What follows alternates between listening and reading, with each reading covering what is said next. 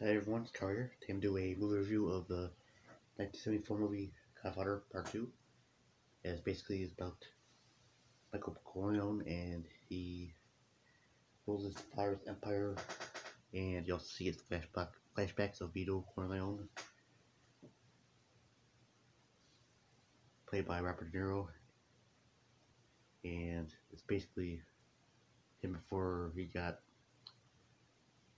all powerful became the uh, the Godfather of New York City. So yeah, definitely an interesting sequel. Uh, so yeah, definitely interesting take of Vito's earlier life and before he died in the first movie.